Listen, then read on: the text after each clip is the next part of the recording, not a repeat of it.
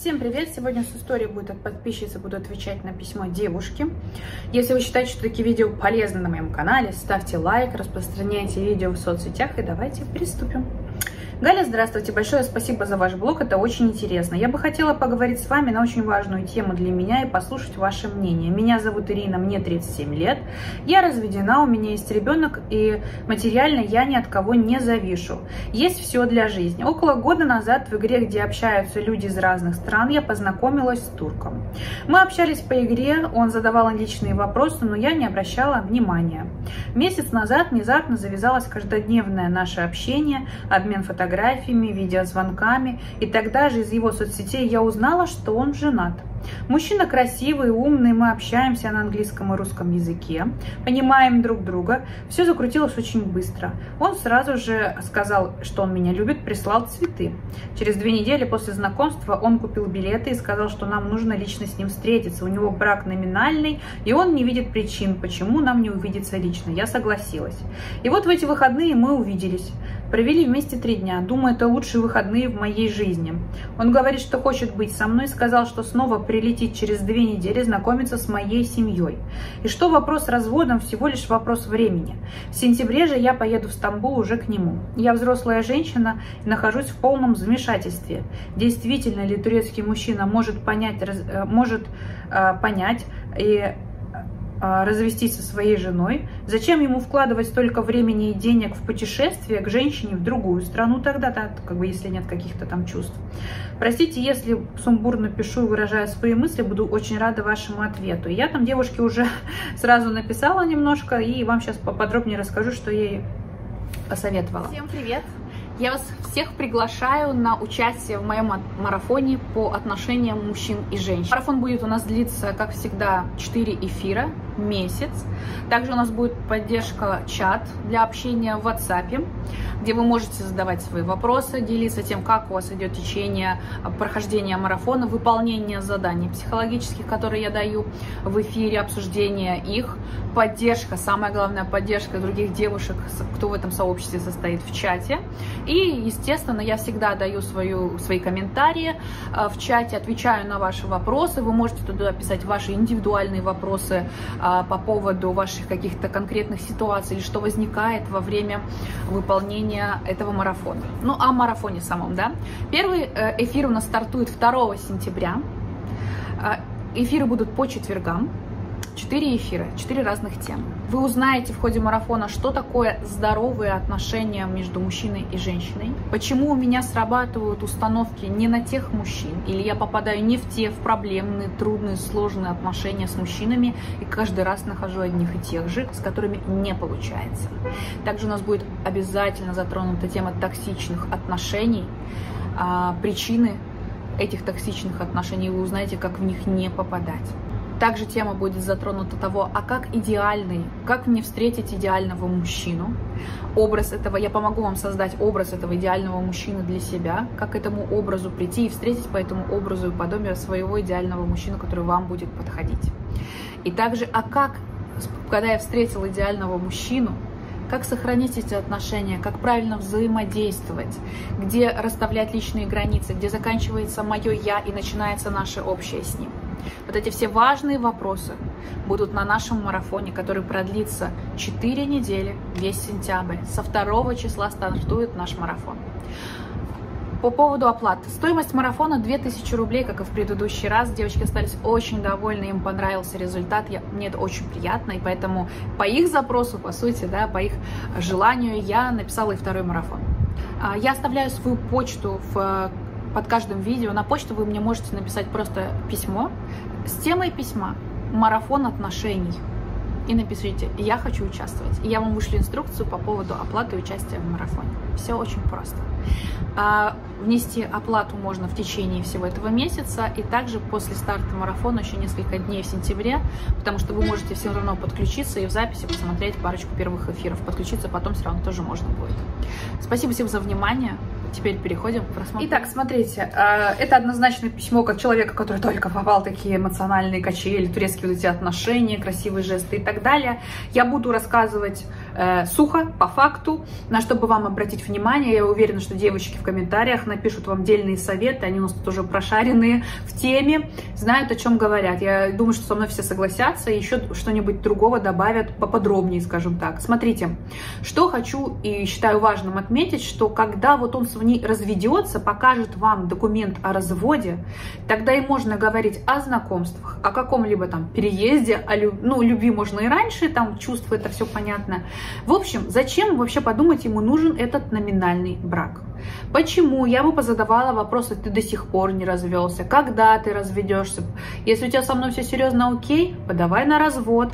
В общем, я к тому, что очень это напоминает балабойство многое, за что за этим, если как бы он искренне окей, это классно, но сколько историй, все так начинают и говорят, что они там разводятся, на самом деле выясняется, у него, когда он со мной встречался, жена уже была беременна или вообще родила еще одного ребенка, это все вылазит потом уже, когда вас, скажем так, окутали в свои чары сети, вы влюбились и уже жалко терять, и этот чемодан без ручки тяжело тащить, а бросить жалко, и он уже и не разводится, и какие-то обещания уже другие другие, да, идут, ничего там, по сути, не обещают. В общем, история может э, такой оборот принять не очень приятный.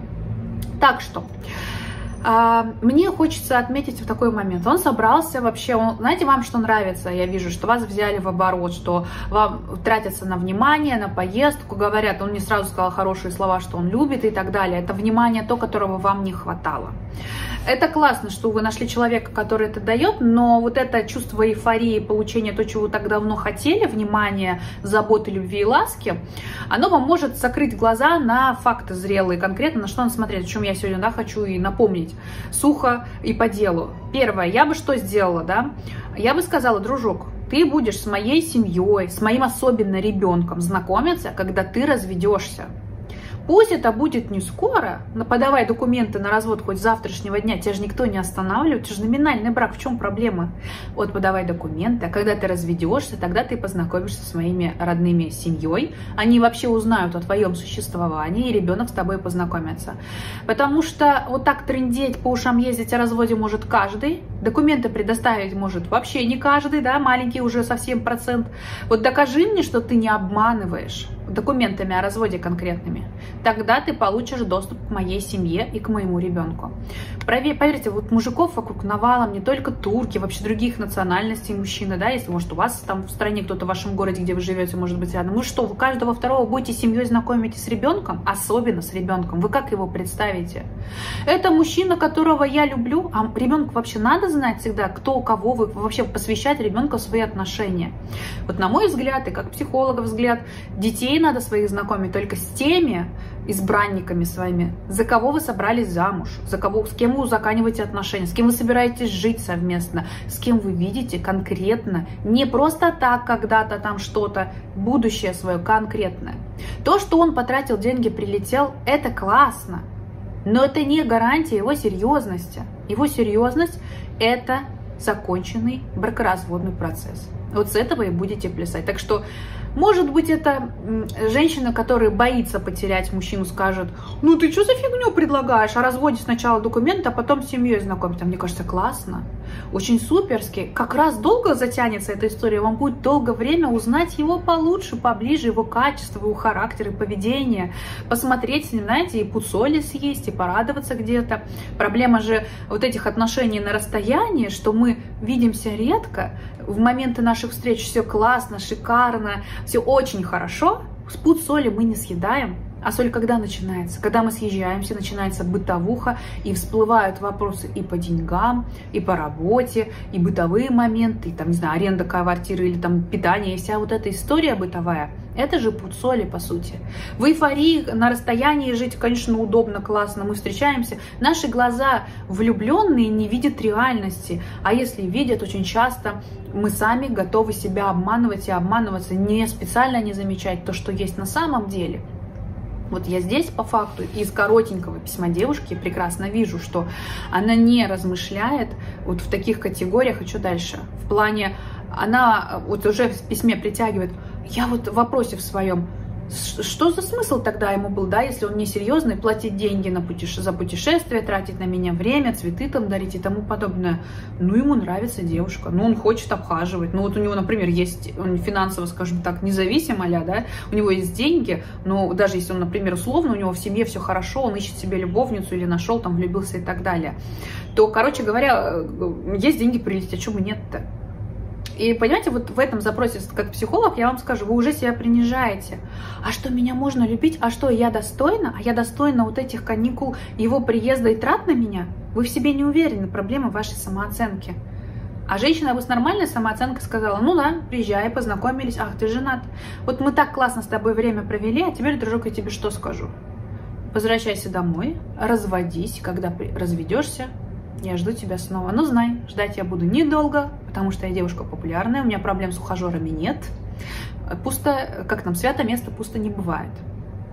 Вот так поведет себя человек со здоровой психикой. Когда женщина или мужчина увидит преграду, а там какие-то проблемы, либо вот э, человек в браке находится и так далее, к тому, что влюбиться замужнего женатого это нормально, это не скажем, как говорится, сердцу не прикажешь.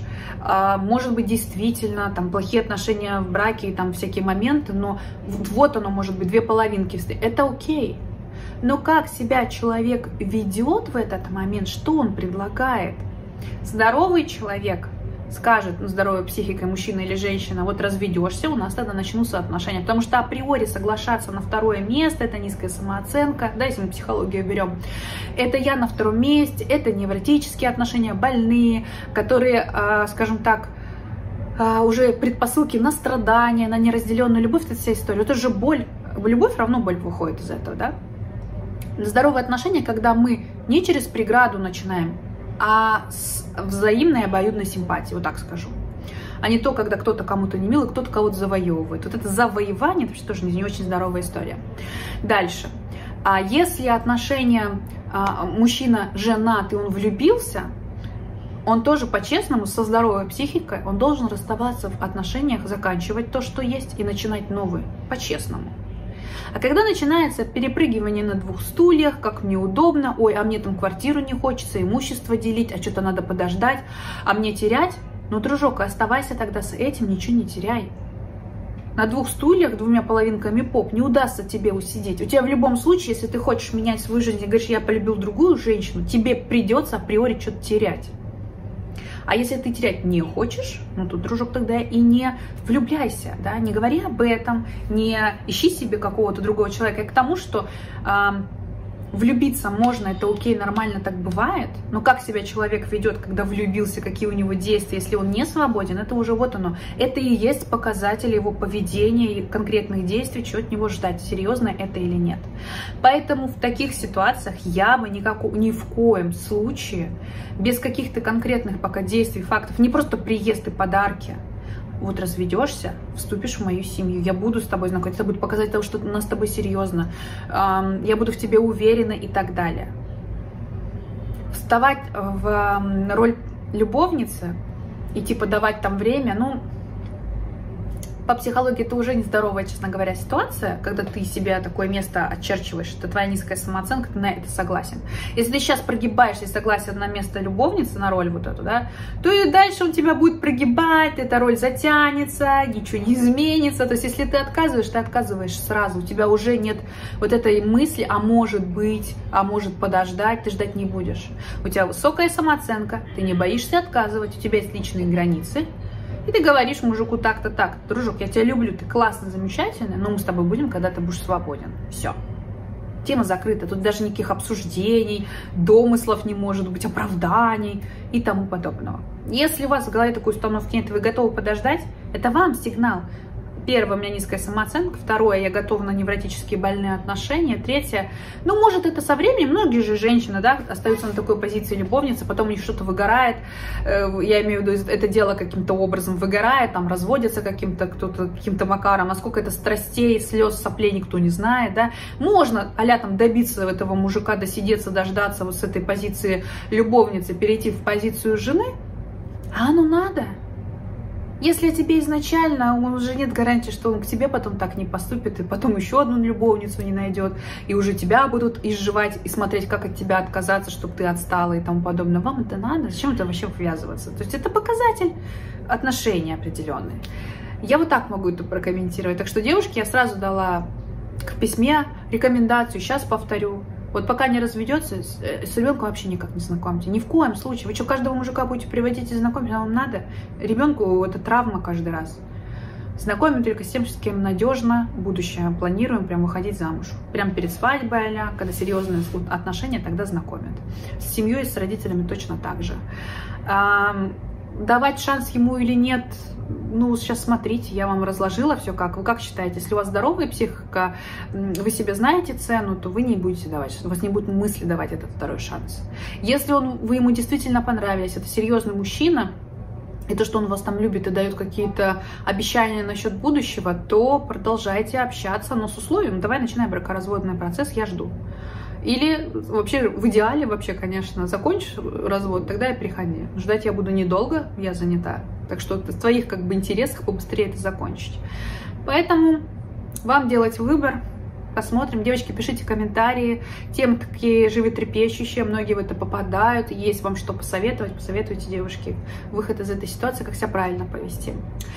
Я всегда свою почту оставляю в инфобоксе под видео. Пишите комментарии на нее в плане. Пишите на почту ваши истории для такие публикации, ответы в видео для разбора видео. Можете написать теме письма «История».